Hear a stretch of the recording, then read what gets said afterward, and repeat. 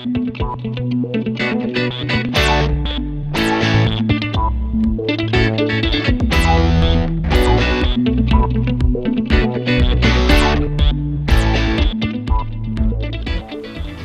hello there again. It's Christian author and teacher, evangelist Joe Callihan coming to you with uh, some more teachings that I hope to share with you. Excuse me, throat's a little clogged. Anyway, there's something I would like to explain to you. Um, several things, as a matter of fact. As, uh, you may notice at the end of our program we put a notation about uh, if anyone would like to donate to this ministry, you know, where to donate. We also make a note that it's not tax free. Now, there's a reason for that, and the reason is that I don't have any man's ordination. I've been offered five different ministers offered to ordain me under their ministry, and the Holy Spirit had me turn it down. He said He wants people to understand that I have His anointing on my life to teach, and that's who I have the uh, ordination from, and not from any man. It was hard to do that, and as a matter of fact, if I hadn't have done that, if I'd have accepted one of them, then we could be tax exempt. But the government won't accept the fact that the Holy Spirit can ordain someone to do work.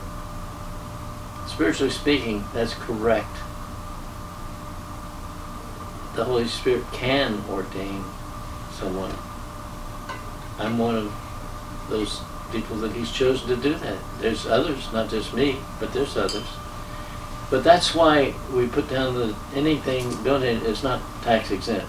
And then also, I would ask you to please, before deciding to send a, a dime in, please send the watch the teaching that I put out on how we are to give, because I don't want people that are having money that's really tight getting by with sending me a dime.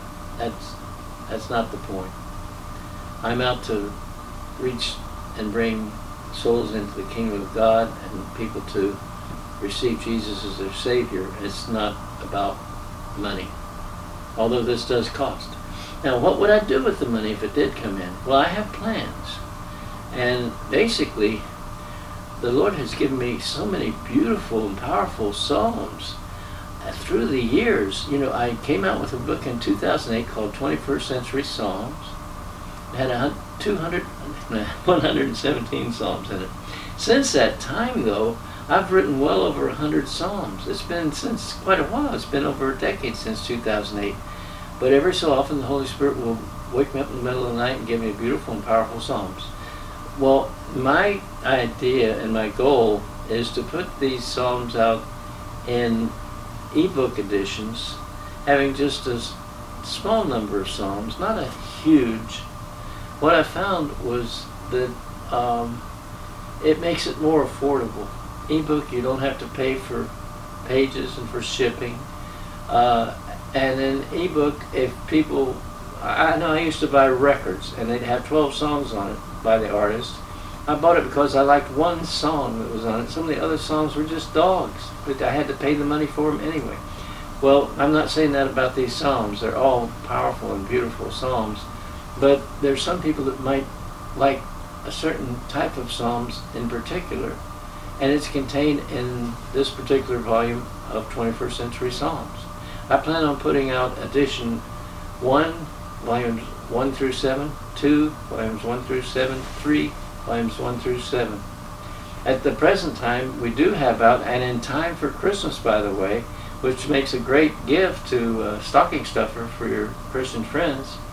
But I have 21st Century Psalms, Edition 1, Volume 1. A little bit later, I'll read an excerpt of one of the Psalms from that. In one of my other teachings, I read the one, uh, Plea to Save Christmas.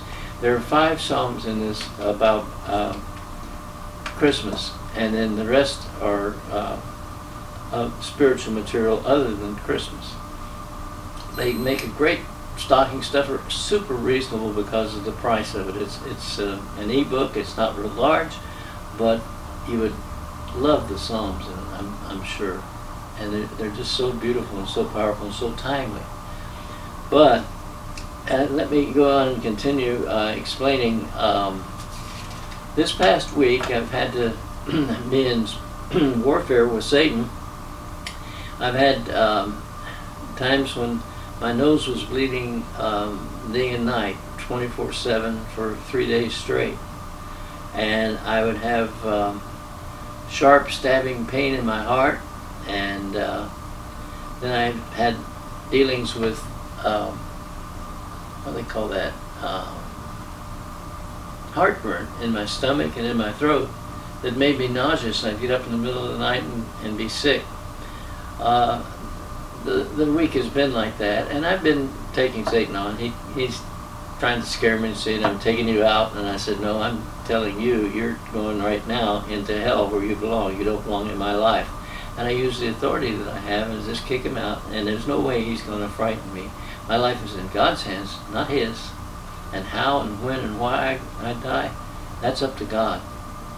He has work for me to do. He has use for my life. And I keep praying and asking, please don't let me die. I haven't been nothing but a failure to you. Use me mightily, the way you did St. Paul. Make of me an example of someone that can turn their life to you and turn it around and be used by you to reach others. That's my daily prayer. And so I stand on that. I stand on the fact that my Father's love for me is perfect. So Satan in no way whatsoever can bring any fear on me, regardless of what silly tactics he tries to use. But as a result of this, I haven't had the time to study and prepare for the teaching the way that I usually do. And because of that, uh, I was asking the Lord, what, what should I do? Well, I think I mentioned in my first uh, program about how I'd been blessed back in the year 2008 that I was given the opportunity by the pastor there to speak on the first Sunday evening of each month, and I did that for approximately two years. Uh, Solid Rock Church was a church where they helped people get off of drugs and alcohol. Uh, they would have as many as 250 people at a time, sometimes just 200 or 150. It varied. And of course, they had their community members as well. But they didn't pay him anything, but what they did do was they made DVDs of the teaching that you gave, and they give me a copy of that. So what I've done for this upcoming teaching, which will air on the 27th of November, uh, and then for the other one, which will be December 4th, I've gotten into the files and looked up and found those two teachings. And um, I think I better explain something about some of them. Um, the teaching that we plan on airing on the uh, on the 27th is one that's uh, called uh, Discerning the True Light of Salvation. Now, this is a DVD, so it's in video, and it was, believe it or not, it was 10 years ago I looked at it, and on the envelope that it comes in, it was November 1st, 2009, that I gave this teaching at, at Solid Rock. But it's a, it's a very interesting teaching about a dream that I had. And you may notice in the, uh, in the picture that uh, because a lot of our clientele were people getting off of drugs and alcohol, uh, they tended to be camera shy, and it looks like there's hardly anybody there to even listen. But we had side rows on both the left and right side. So when you it's film shooting straight down the middle side, they found out if I stay on the side, they won't get me in the picture. Some of them were just camera shy for one reason or another. But the sides, we had at least 50 people on each side. So there was, you know, well over 100 people that were there, even though it looks like there's only a few. But I think you'll enjoy this teaching. Uh, this is the teaching which, by the way, I was watching it, and near the end, this has the young lady that jumped when I said, "Wake up!" I remember I told you about that, and it was uh, I just couldn't believe it. It was so funny. But um, anyway, that's this teaching will air on the 27th. Be sure and try to catch it. It's it's really rich. Now the other teaching that will air on December 4th. I'm so glad we're heading into Christmas because I've got some really powerful teachings coming up. This one is called Which Kingdom Will You Choose to Dwell In? Now, on this, in finding my DVD copy, I went to play it, and something has happened through the years, and it said it wouldn't play on this machine. So instead of giving uh, my gentleman uh, friend Charles, who's helping me with this, a, a giant headache trying to get it to work, I found that I also had a CD copy of it. This teaching is is very powerful too, and um, you can. It's like listening to radio. Go back to the good old days when we didn't have television. But when you hear this teaching, you'll be blessed because it asks you. There's every day we have a decision to make of which kingdom we're going to dwell in, and there's something I should explain about this since it doesn't have the vision. Is I had the church take down the uh, balsa balsa wood cross that they had. It was about seven feet long and I had them put it on the floor. And then in my teaching, I'm explaining this so that you can picture it in your mind, but in my teaching, as I was walking along, I said, What's this? And then I bent down to pick it up. Now, I wasn't expecting a balsa wood cross to be heavy, but you'll hear me grunting. it was a bit heavier than I thought. But I had to pick it up because that's what we're supposed to do is daily take up our cross. It was making a point. And then also you'll find uh, later you'll hear me say thank you, you know, and that's because I commandeered one of the people that were there that evening to uh, when I took up that cross to stand before me, and he was representing the guy who had done a bad deed to me, and how that now that I was carrying the cross, how I was going to have to choose to deal with him. He was standing right in front of me. So I thought I'd better explain those two uh, things to you so that you'll understand when we come to that section of this particular teaching. And again, I'm sorry the uh, DVD just, something's happened through the years and it, it just wasn't going to work. And so that explains that. The last thing I wanted to tell you is please try not to miss the teachings in December. If you don't believe that the Holy Spirit has ordained me to teach from God's Word, check in the teachings that we have for you in December. You already know about December 4th, uh, which kingdom will you choose to dwell in? On December 11th, we're going to have Fill Me with the Fire of Your Love. On December 18th, we're going to have a teaching on earning a mansion in heaven. And on December 25th, as a Christmas present, I'm airing one of my favorite and I believe one of the most powerful teachings that I've been given. And it's called The Importance of Gaining Spiritual Maturity. Uh, you don't necessarily have to watch it on the 25th. That's the first date that it airs. And of course, we keep all the teachings available so you can watch it at your leisure anytime. But it's a very powerful teaching. I think all these teachings, fill me with the fire of your love and earning a mansion in heaven, and especially the importance of gaining spiritual maturity, they're so powerful that you really will be blessed by tuning in those teachings. And please do me a favor and tell others about it too.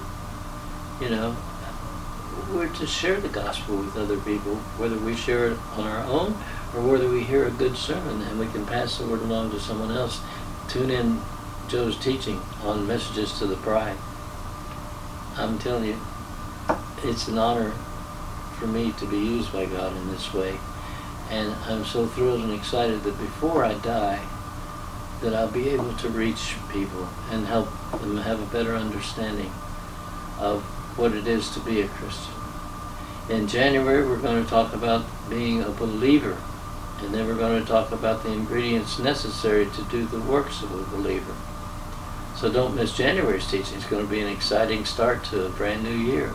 I plan on being around for it. Hope you will too. Right now, God bless and thanks for tuning in. Hey, it's an honor and a privilege to be here again tonight. Thank you, Pastor. It really is an honor. And uh, I think one of the things I wanted to do tonight to start off is take you back a little bit in time.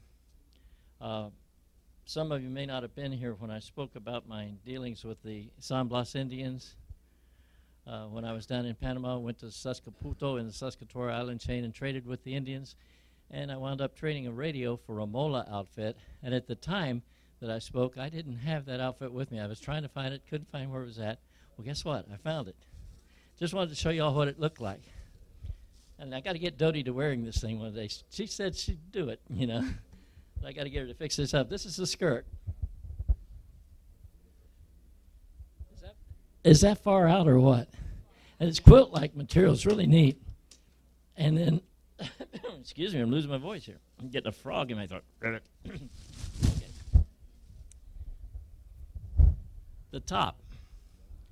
Now on the top, you'll notice something very unique. Does anybody see signs of World War II in this top? Nazi swastikas. There's a neat story about that. Now, well, where we, where we were at was about seven degrees from the equator, between the Panama and Colombian border. But do you see all these Nazi swastikas in here? During World War II, the good old Nazis came down to San Blas Indian territory, and they tried to convert the San Blas Indians into being good Nazis. Now, the Indians weren't stupid. And they said, Tell you what, Nazis, you're nutsy, but we do like we do like your swastika idea. We're going to put that in our embroidering. So that's how, even in 1969, way after World War II, this is what I got. It has all these swastikas designs. So it was in several of their outfits.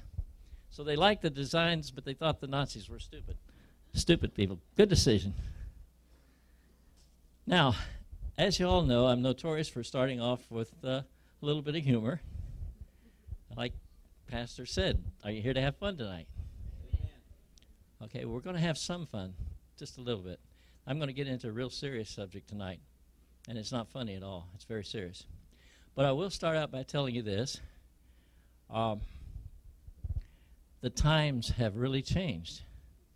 And I hadn't realized that so much until one day, years ago, I was working at Kmart, and I was covering the camera department for the guy who was at lunch, and I hear all this noise going on, boxes being opened in the aisle just behind me.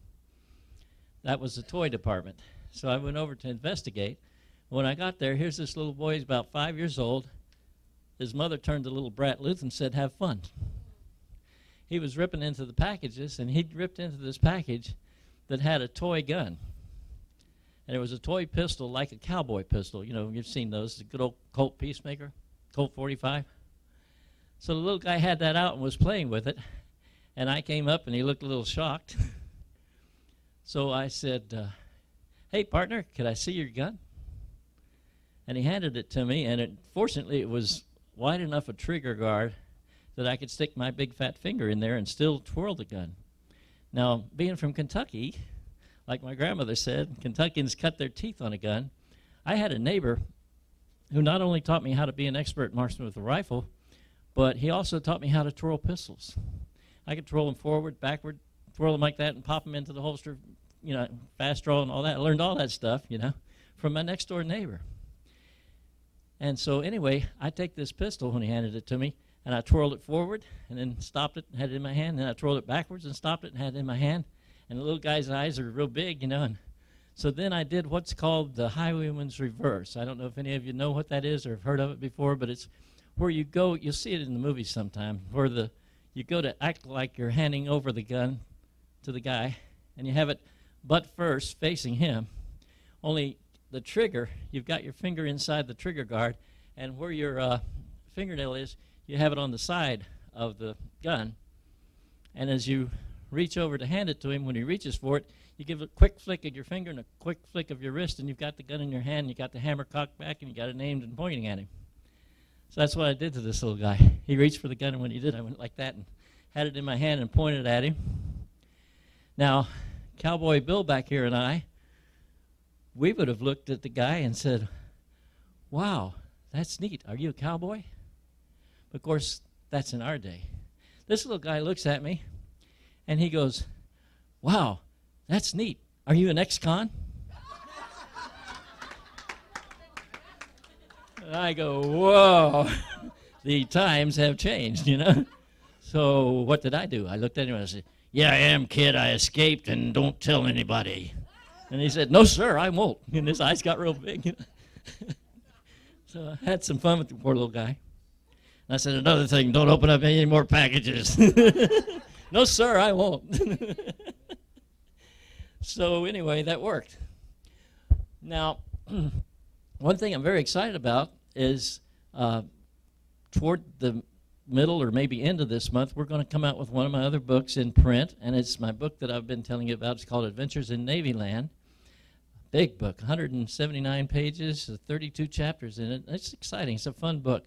And I shared some of the stories with you about pouring a drunk into his bunk, you know, things like that. uh, but uh, tonight I'd like to share with you something a little more serious.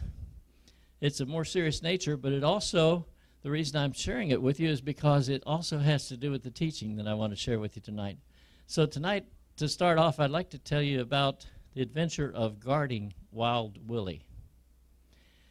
I worked uh, in what was called an ops, Operation Control Center, it's short OPCON. And uh, it was interesting work. You had to have a secret clearance to work there. And I did part time courier work. But uh, one day, they had a special job for us. Uh, they asked for volunteers, and I'm one of the ones that they volunteered. Uh, they volunteered three of us for special guard duty, and it turns out that uh, they had in the hospital this gigantic guy who had uh, head injuries and he was at Gorgas Hospital. It was a beautiful modern day hospital that's right on the border of Balboa and Panama City. And his was an interesting story. We were to given strict orders to go into his room. We were given issued billy clubs, wooden billy clubs, and we were to go into his room when the people had to take him medicine or had to take food to him. We were not to stay and talk with him, but just see to it that those people got in safely and got out safely and that he didn't try to escape. It turned out that this young man, I think he was about 22 at the time, he was an Ohio farm boy and uh, didn't know a whole lot about life. And what had happened is his ship was visiting in Venezuela and was in port for about a month. And in the course of that time, he wound up being introduced to a prostitute. This particular prostitute wanted a free ticket to the United States, so she convinced him he was in love with her. And he wanted to marry her. He tells the captain of the ship, I found the girl of my dreams and I want to get married. Now, as was customary, the captain of the ship went to the American embassy. How about this girl?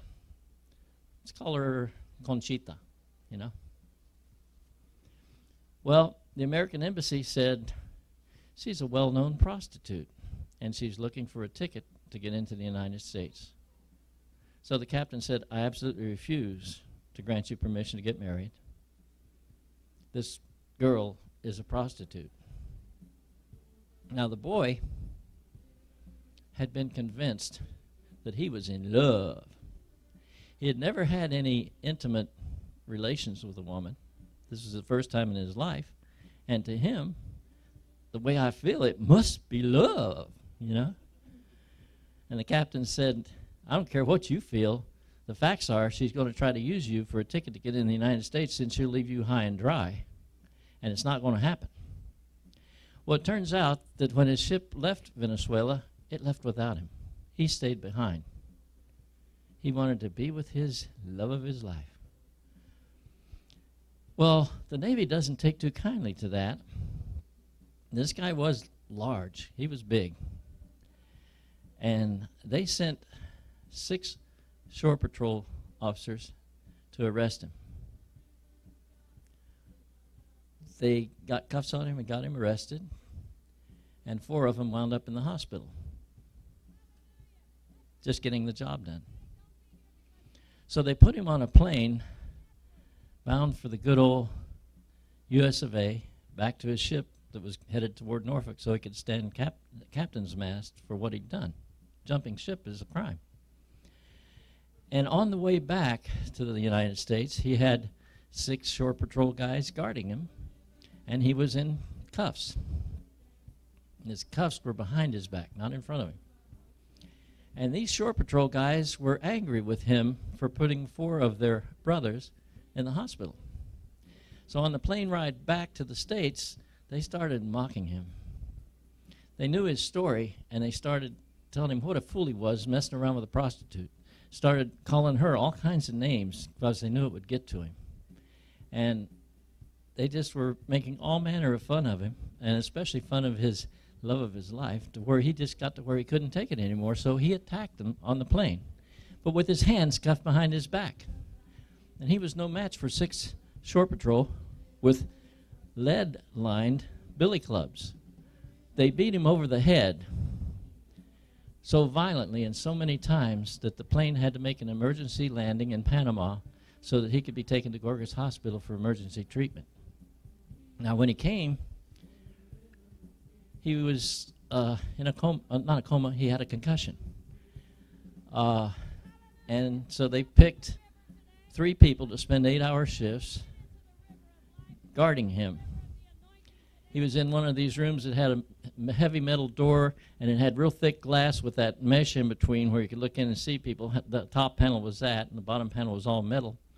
And so each had eight hour shifts to guard him. And like I say, strict orders not to talk to him, just stay outside the room and only go in when the people needed to go in. And so the first day, he was with us for an entire week, seven day week.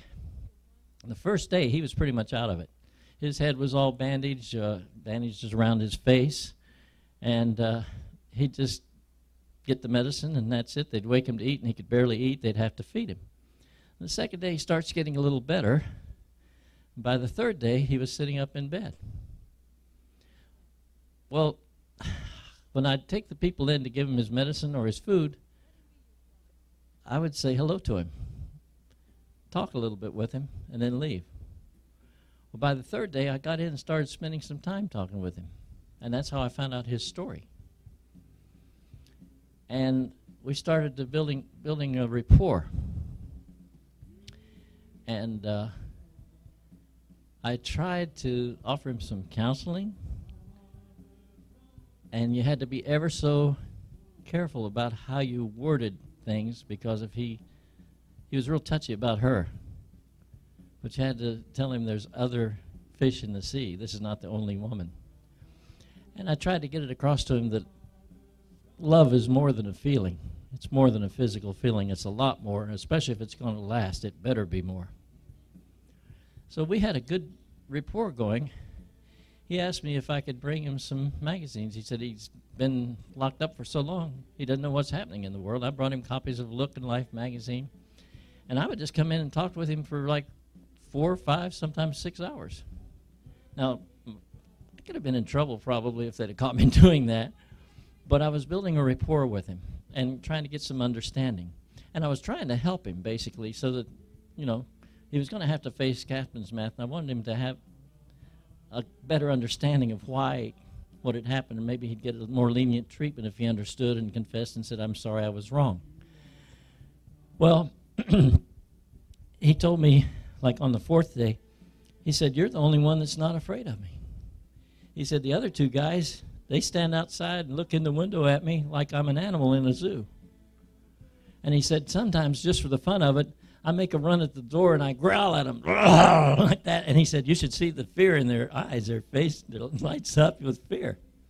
And he said, You're the only one that's willing to come in here and talk to me like I'm a fellow human being.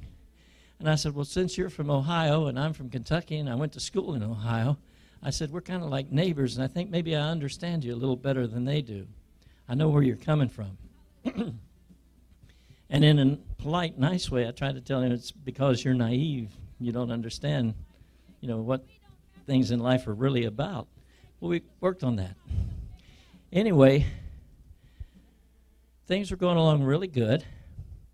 But on the sixth day, he was really a lot better.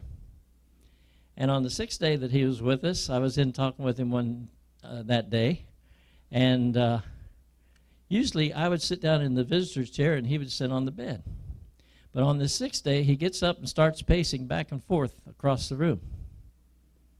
And he started getting me a little concerned. So I went over and stood in front of the door. I thought, is he trying to warn me of something? So he looks at me and he says, You know, Joe, I'm getting a little tired of being cooped up and confined in here. I think I may just decide to leave. I said, Not on my watch, you're not. He said, Would you try to stop me if I went out that door? He said, What would you do if right now I just walked toward the front, to, toward the door? And I said, Well, you stupid idiot, I'd break this stupid billy club over your ignorant head. He said, Would you really do that? I said, He said, Would you really want to do that? And I said, Not so much want to do it, but have to do it. It's my job, it's my responsibility to see that you do not leave here. And I'll do anything that I need to do to see that that doesn't happen. You're not going to leave here, not on my watch, buddy. He goes, But I thought you were my friend. I said, I am. I thought you were my friend. I said, You don't need another headache, and I don't need the aggravation of you trying to get through me because it's just not going to happen.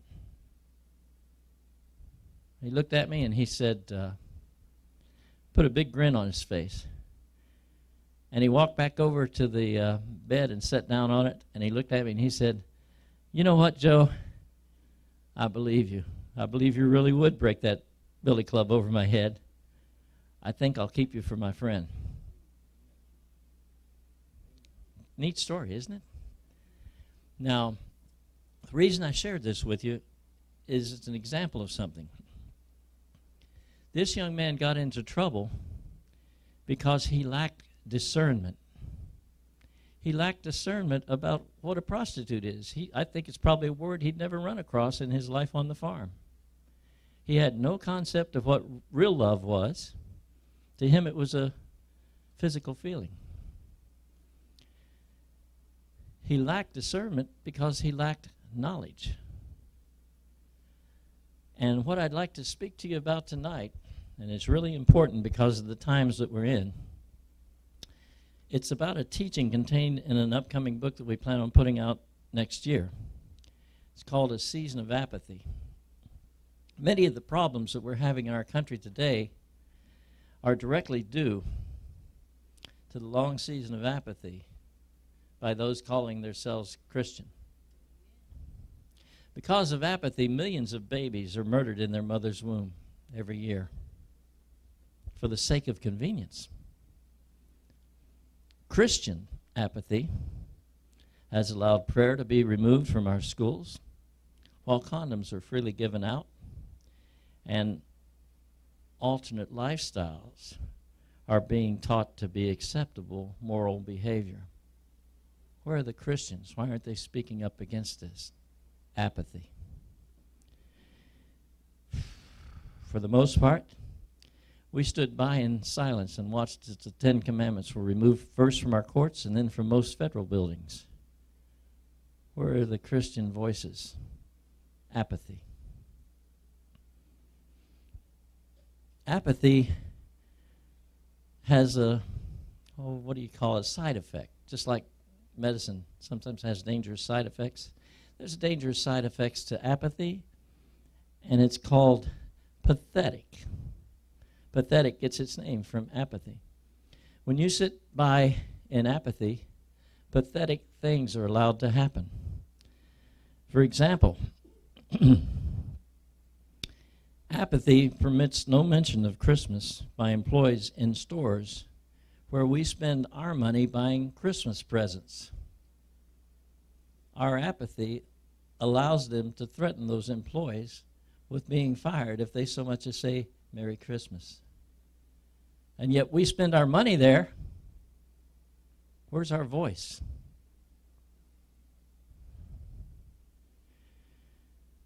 talk about apathy having side effects. No longer are children in grade school taught to sing God Bless America or the joy of singing any Christmas carol. But, mm, mm, mm, our grade school children are taught to sing a song of praise to the president. Is that pathetic or what? We can't sing to the one true God, but we can give praise to the one that's trying to take our country down. I'm sorry, that's what's happening. Now, I'm not speaking about the apathy of religious Christians. Apathy among religious Christians is just part of the powerlessness of religion. They have a form of godliness, but they deny the power thereof, and the power is the Spirit of God, the will of God at work in our life, directing us. Religious Christians don't have the Holy Spirit because they deny Him the opportunity to, to teach the truth to their followers.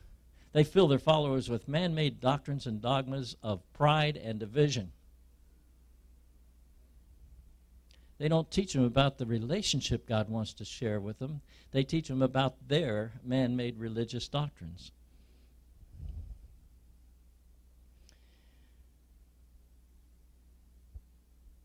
Now, I'm seeking tonight to address the true body and bride of Christ those claiming to have relationship with God and not religion, with the one true God.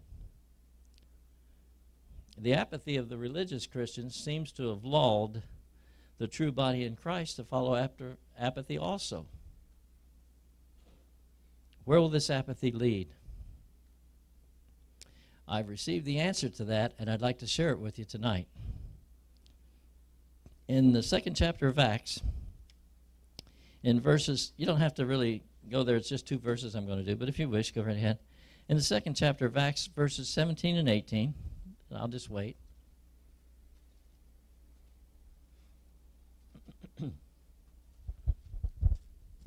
While you're turning, I'm going to grab some water. Maybe I can drown this frog.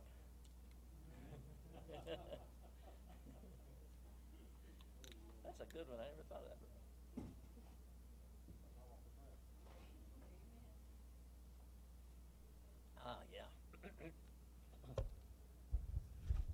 Okay, so hopefully everybody's there by now, but I'll, I'll go ahead and read it. It says, And it shall come to pass in the last days, says God, I will pour out of my spirit upon all flesh, and your sons and your daughters shall prophesy, and your young men shall see visions, and your old men shall dream dreams.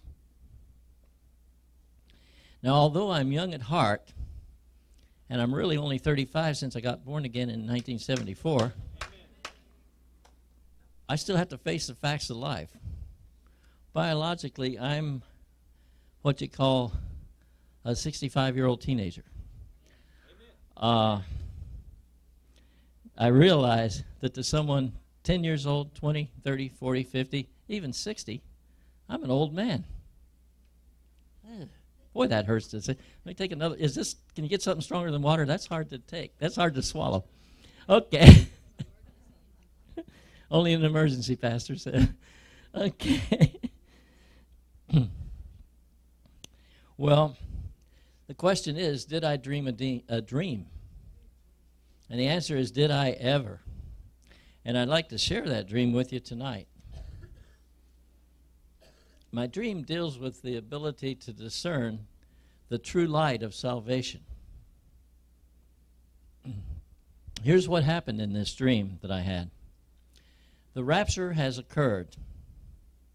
And those who have wasted so much time and energy arguing over whether or not Christians will be raptured before or after the time of tribulation will find out that both were right. Those Christians that were hot for Jesus, that were on fire, that were going out and not being hearers only of the word, but doers of the word, that were going out and harvesting souls from the world those Christians will have been caught up with Jesus in the clouds. But the lukewarm will discover that the warning that God had issued in Revelations chapter 3, verse 16, will have taken place. The lukewarm Christians will find that they have been vomited out of God's mouth. He said, I would that you be hot or cold. But you are neither hot nor cold, but lukewarm, and I will.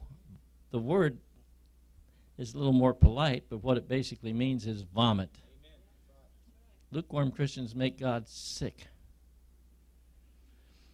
Well, the lukewarm Christian is going to have to decide whether they're going to get hot for God in the fire of tribulation or cold and give their soul over to Satan. It's a decision they're going to have to make during terrible times. And the reason that I'm desiring to share this dream with you all tonight is in the hopes that if anyone is lukewarm, they won't want to stay that way. Because the time for Jesus to come back is soon. We see it in all the prophecies that we see being fulfilled almost every day. And the time for playing around with being lukewarm is at an end. And I pray that during this teaching that spiritual ears will be open to hear and know the truth. And you decide for yourself where you're at. And if you are lukewarm, I pray that you'll be encouraged to change now while there's still time to do so. Or if you decide not to, perhaps maybe you'll find the strength to endure the times of tribulation and get hot for God then. Now, in the early days of the church, being fed to the lions was not a fun thing for the early Christian martyrs. What it was to them was a faith thing. It took a faith that was real to choose lions over rejecting Jesus. Now, all of you that take pride in being spiritually lukewarm, hear me well.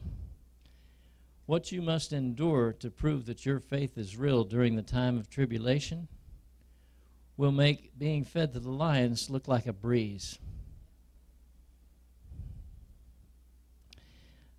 I want to share with you the vividness of the dream that I had. It was in three dimensions stereo sound, color, technicolor, very lively dream. And I'm going to need your gift of imagination tonight. I'm to blame for my unpreparedness. I brought what I thought with me was a working nightlight. I go to plug it in, and it's not working. Now, who wants us to be in darkness? Satan. But God wants us to have the light. Each of you that are born again have the light of life inside of you. You have a imagination, a rich imagination. And you're going to have to help me tonight and use it. We're going to get this light to light. Okay? Now, here's the dream you're part of a family. You may be the mother or the father and the time of tribulation has gone on now for five years. You have two children. Your little boy is four and a half years old, and your little girl is three years old. And witnessing the faith demonstrated by those Christians whom you've seen being put to death has had a profound effect on you. You and your spouse have come to the conclusion that you desire to publicly declare Jesus as your Lord and Master. Having done so, has caused you and your family to be brought before a judge. We're already part, part of the way there because a lot of the judges we have today, justice is a joke. Now, this judge offers you the choice of either renouncing your faith in Jesus or being put to death. Not just you, but your children as well. Boldly, you say to this judge, Never will we reject Jesus as our Lord and Savior. Very well, says the judge. You leave me no other choice but to turn you over to the term to the uh, tormentors. You, your spouse, and children are led away by the tormentors, and you're taken to a darkened cell It measures four foot by four foot. There's no toilet nor running water. There's no windows. There's only one source of light in this cell. and you're told it's this round, lighted, everybody see the light? Round, lighted buzzer. And what you're told is that when you're ready to renounce your faith in Jesus, all you need to do is press this buzzer and loudly renounce your faith in Jesus and curse his name. Until the day you do, you no longer exist. The door is slammed shut. The only light in that room is this little round buzzer. You hear the sound of the key activating the lock on the door. And then as you move toward eternity, hours become days, days become weeks. But you have no real concept anymore of weeks, days, or hours. At first, the hunger seems bearable. And then the stench in the cell starts to sicken your stomach. And as time passes, you'll hear the voices of your little ones who don't understand what's going on. Your son cries out, saying, Mama, I'm so hungry. In tears, your daughter cries, Daddy, I'm scared. As this becomes a daily occurrence, and the voices of your starving children become weaker and weaker, what will you do?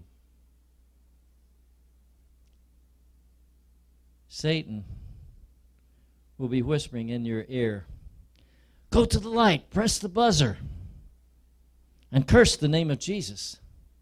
That light is the light of your salvation, not Jesus. How will you respond to Satan's lies? What will you say as the lives of your children and your spouse begin to fade away in front of you? Even now, as your own life is beginning to fade, what will be your reaction? The whole world will be watching, waiting, and listening to you just as God will be. Will you say, Shut up, Satan, you stupid liar? Jesus is the true light of my salvation. He lives within my heart and also in the hearts of my wife and children. I hope and pray that this will be your response that you give.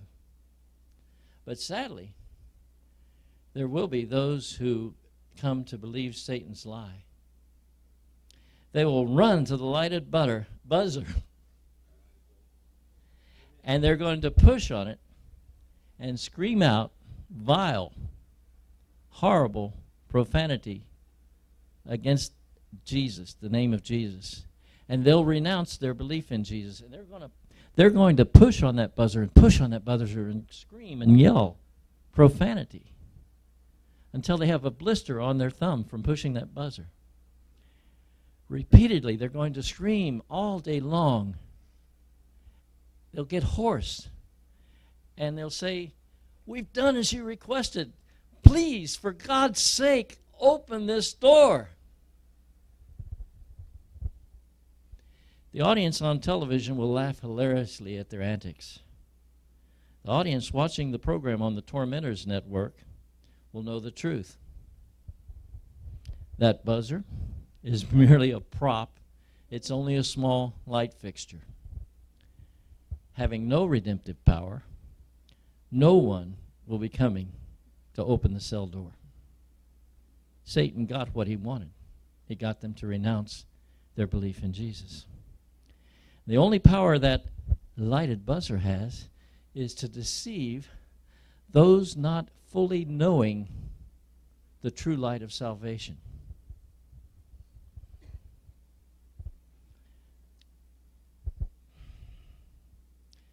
Those not having a real solid faith will choose to reject Jesus, the one and only true light of their salvation. Then they'll come to know as no one comes to open that door that they've been deceived. They've chosen to accept a cheap, phony imitation light provided by Satan. Sorrow will grip their heart as they will now understand the truth of the Scripture. Whosoever will save his life shall lose it. They may never know that they were providing entertainment for a sick television audience. Satan never revealed to them the closed circuit monitoring of their cell, which was going on 24 hours a day. He wanted them to feel alone and totally helpless, except for that lighted buzzer on the wall. Now, if this dream sounds too far out to you, like an episode from Twilight Zone, please allow me to point out to you the rash of reality television programming that we see flooding the TV networks. These programs are ways that Satan uses to entice the uh, prurient voyeurism of our flesh. And also to desensitize us to evil. As evil becomes the norm, our flesh desires to be fed more and new and exciting visions of evil. Now, in the early days of filth in the movies, illicit sex from foul mouthed spiritual morons was called mature. When people began to protest, that term quickly changed to mature adult. And this meaning, if you're one of those people who objects to garbage in the movies, it's simply because you are not a mature adult. So what's wrong? They said. People talk like this and do these kind of things every day. Showing it on the screen is only showing reality. Is that a word we use a lot today? Reality programs? It's only showing reality. But supporting this kind of reality is a good way to earn a one way ticket to hell. Spiritual reality is this God is holy. Number one, you shall love the Lord your God with all your heart, mind, soul, and strength. Now, I do have good news to share with you. It's not all bad. Satan will also have to deal with those former lukewarm Christians who decided not just to get hot, but stay hot in their belief. just listen to what goes on in their darkened cell. You will hear praise of thanksgiving coming from grateful hearts which ignore physical hunger. You're going to hear, Lord, we thank you for feeding our spiritually hungry soul with the bread of life. You daily nurture our thirsty spirit with living water. Father, we choose to forgive those who, not knowing you, have done this to us. Listen as the little ones crying out are comforted. When the daughter says, Daddy, I'm scared. When the son says, Mama, I'm so hungry. This is what the parents will say It's all right, my darling children. Have no fear. You'll just be getting to see Jesus a little before we do. But don't worry, it won't be long until we join you in seeing the wonders and splendors of heaven. Hear what they say as their little ones succumb to death. Thank you, Jesus, that we may give back to you the children you blessed our life with. We thank you that we were able to teach them of you and of your great love.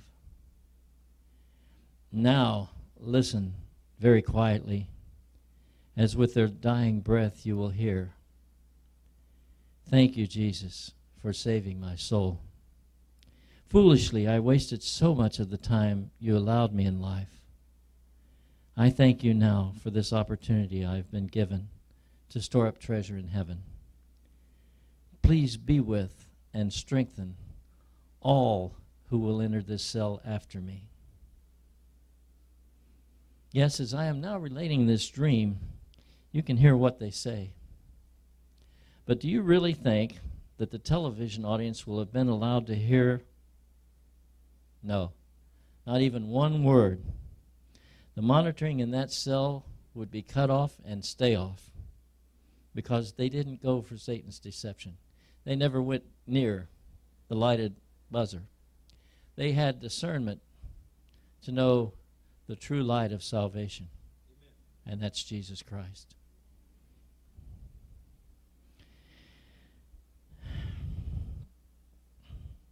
The reason they turned the monitoring off in that cell is they were so fearful that those cold hearted mockers would get an opportunity to see faith that is real. You know, the early church grew in large numbers because of the martyrs. People would see people who said, Bring on your lions. I'm not rejecting Jesus. And they said, These people have something that's real, and I need that. They have a power that's real, and I want that. They don't have fear, they have faith, and I want faith alive in my life. Now, in this dream, we can see the wisdom of being able to discern the true light of salvation from the lie of Satan. And we can also see the true outcome of God's warning. Whosoever would save his life will lose it.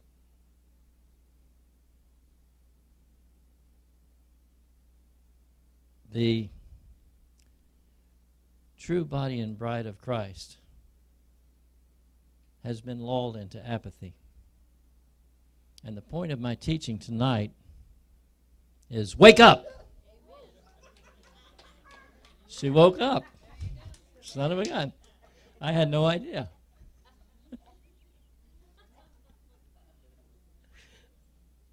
you just never know. anyway,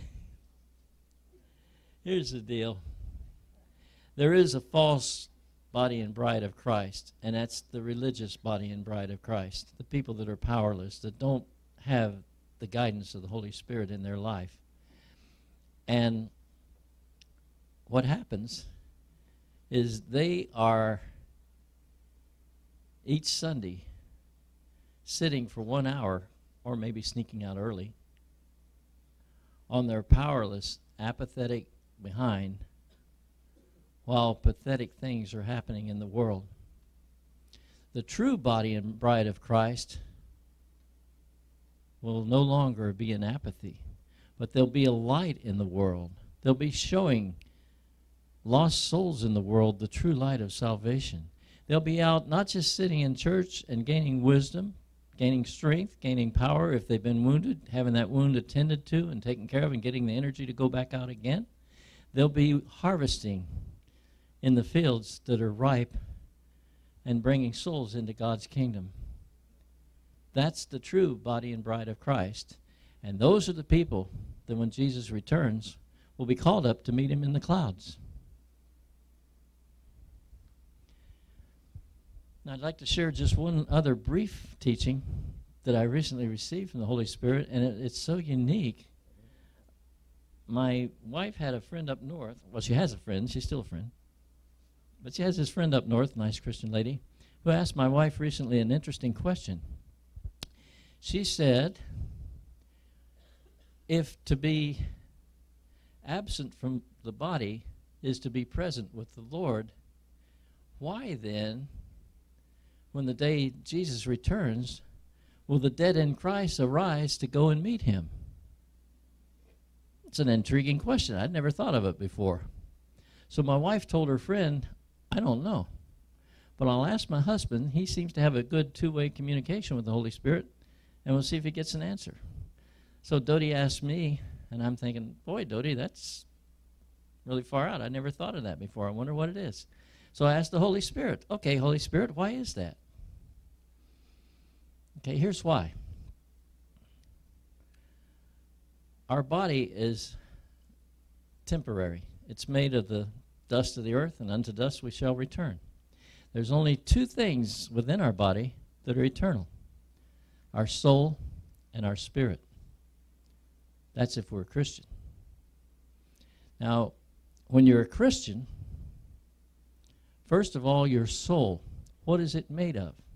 In the second chapter of Genesis, you find out your soul was created by the breath of God. He breathed a living soul into our body.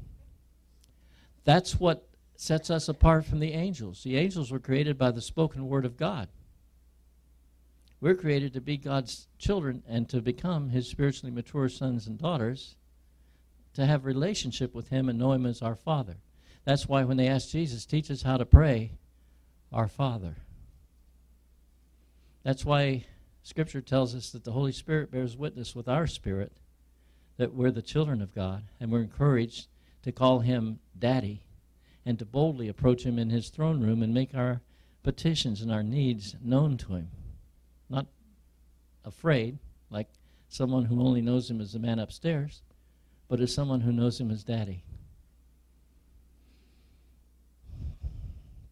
Well, when you're a Christian and you die, your soul which is the breath of God, goes to heaven to be with the Father. It's His breath. But your spirit remains inside this rotting body. But on the day that Jesus returns, Scripture tells us we'll be given a new body, a spiritual body. The body we have now equips us for life here on earth, but it doesn't equip us for heaven. It says in the instant, in the twinkling of an eye, will be just like Jesus. Jesus has a spiritual body. We'll be given a spiritual body as well, and dwelling within that spiritual body, rising up to meet Jesus in the clouds, will be our soul, which is our free will. God has a free will too, only his free will is holy. That's why he's the Holy Spirit. But in making us in his image, he gave us a free will.